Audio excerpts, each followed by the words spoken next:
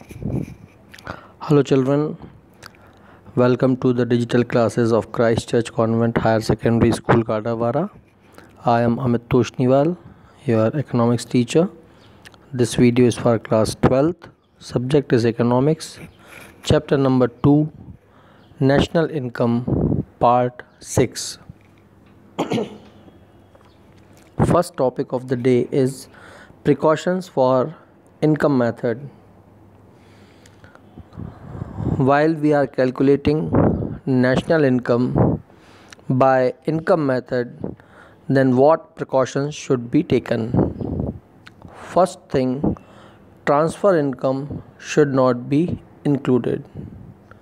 Why?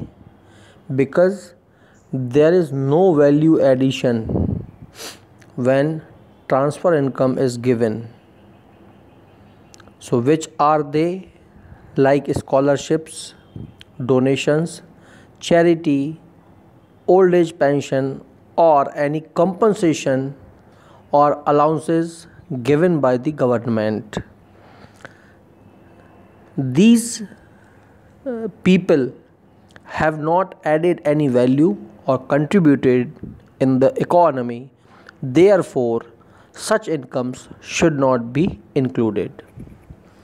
Second point income from sale of second hand goods. When original sale was made so it was counted in income. And that is why it should not be included.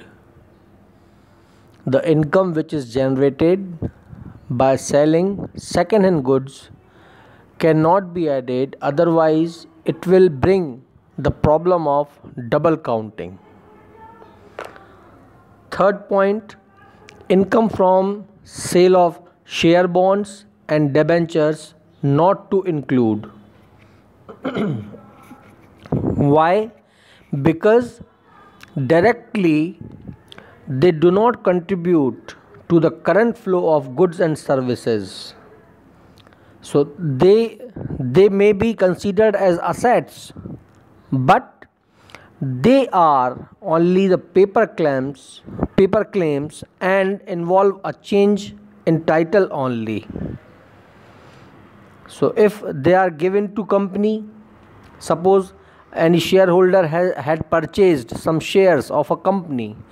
So when he receives his money by selling his shares to someone so that income already been added to companies या firms income. So when and the same he is getting in the form of dividend as a share of profit. So such incomes should not be added. Then fourth point is windfall gains. Windfall gains means the income which is received through lotteries horse race gambling etcetera speculations सट्टा वगैरह जो होता है तो whatever income is generated is not included in this betting शर्त लगाना, ये सब चीज़ें भी इंक्लूड नहीं होती। Fifth point is imputed value of services provided by owners of production unit so they will be included. So imputed value of owner occupied houses interest paid on his own capital salary and wages worked for the organization by the owner himself. So all these things or the self consumptions would be included in national income because the person the owner of the firm or organization is also uh, generating income. If he would have done work for others then at least he would have uh, he would have uh, reaped that much income from the others. So he is doing a productive activity and he is adding a flow of goods and services Sixth point is payments out of past savings. So such incomes are not included past savings like gift tax interest tax the TDS should not be included in income because for that uh, they have been paid out of wealth and past savings so it is not the current flow. This is the past flow of goods and services.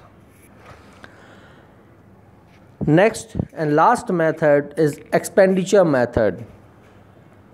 How income is calculated through expenditure me- method. In this method expenditure on the purchase of final goods and services produced during the accounting year in economy is counted. Final consumption is denoted by C and investment is denoted by I.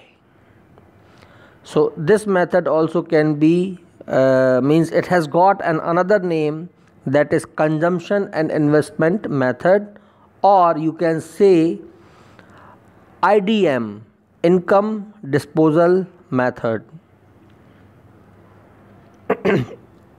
it is always whatever expenditure or consumption is done that will be always equal to the market price of GDP and that is uh, means it is used to find out NNP at FC or to find out national income. Then, how to classify final expenditure? It is divided into four categories. First, final consumption, that is the private one and done by the households. Second is government final consumption expenditure made by the government for the infrastructure and for the public welfare third investment expenditures which is done by the firms companies and manufacturing units and fourth is net export which is the subtract subtraction of uh, total export and total import we shall discuss these terms one by one. First is private final consumption expenditure.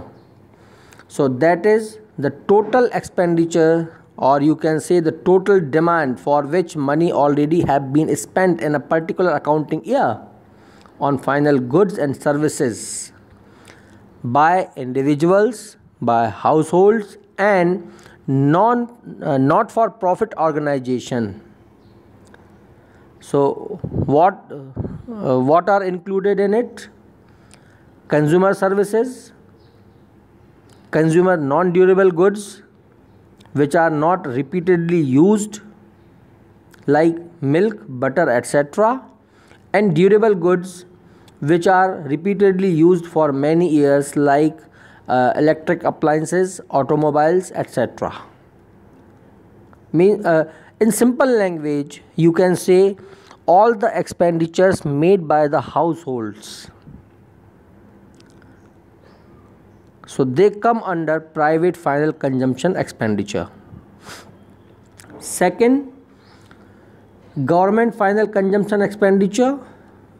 The total expenditure made by the government within the national territory within the country for to means to establish infrastructure uh, for the defense purpose and for the public amenities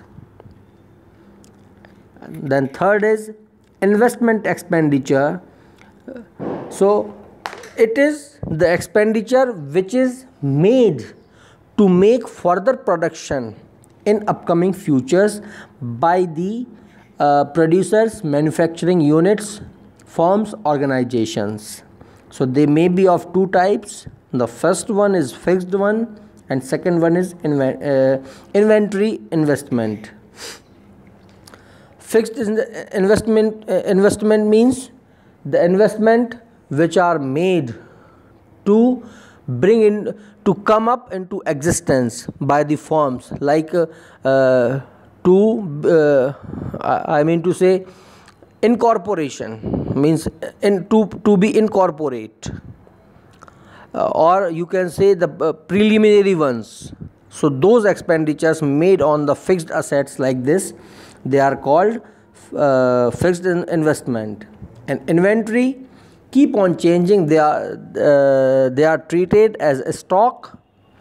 And it includes finished goods semi finished goods work in process in manufacturing units and raw materials or stores tools equipments etc the next is net export this is the difference made by a country in a particular financial year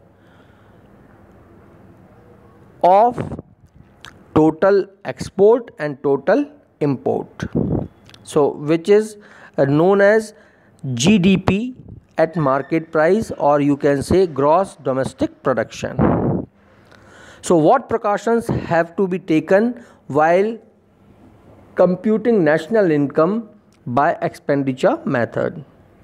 First that you already have studied the first point not to include expenditure on intermediate goods because they are already included in the value of final goods.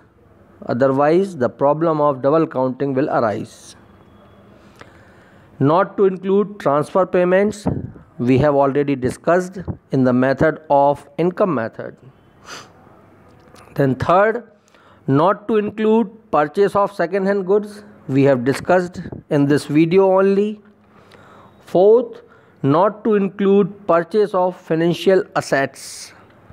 So financial assets means shares debentures bonds they should not be included because they are not any current flow of goods and services but whatever uh, commission brokerage and discount or premium are provided or received will be included in national income because they are uh, means they have been arised due to uh, public either public utility services or consumer services.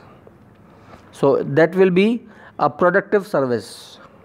And fifth one is expenditure on own account production must be included that is self consumption जो भी खुद के लिए किया है that will be included because if you have manufactured it and using itself matlab using yourself if you would have you you would have sold it so definitely would have earned uh, uh, some money means that can be changed in monetary form that is why the self consumption done by the government or the household or the investment uh, uh or by the industries must be included in this so this is the end of the lesson as well all the topics in this chapter. Keep reading, keep listening, keep studying. Thank you.